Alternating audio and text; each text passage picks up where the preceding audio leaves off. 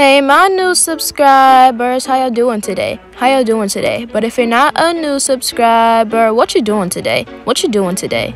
Hey duchesses, dukes, and majesties, welcome back to my channel. How y'all doing? In today's video, we have a lot of tea because now we know what some of the devs are working on for the new school.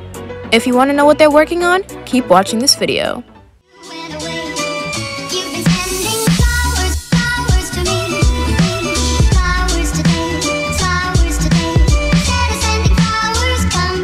Make sure to subscribe right now because we are on to 5,000 subscribers and make sure to turn on post notifications to all so that you guys get notified whenever I post.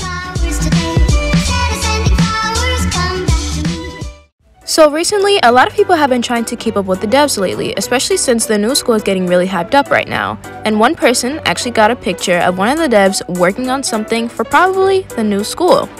On Twitter, Sixentrix tweeted, Well, at Katie Purr got this pic of Calin working on a whiteboard and a printer. Thank you, Katie.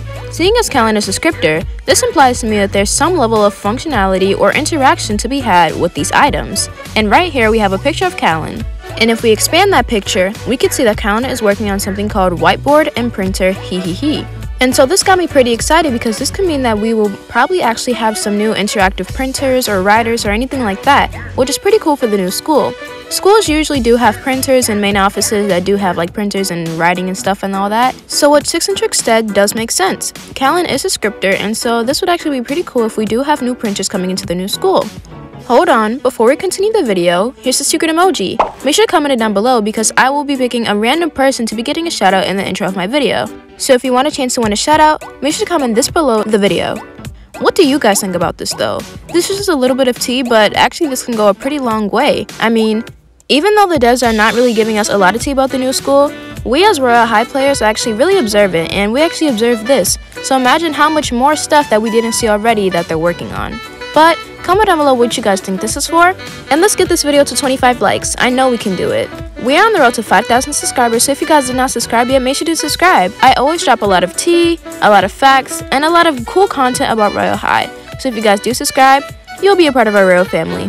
But anyways, I love you guys so much. Thank you guys so much for watching. Bye! Mwah. If you guys like this video, make sure to subscribe to be a part of our royal family. I have two more videos right here for you guys to watch. Also comment the secret emoji and follow me on everywhere, aka Twitter, Instagram, Discord, and Roblox at the True Prii, and join our Discord server. We have a lot of fun there.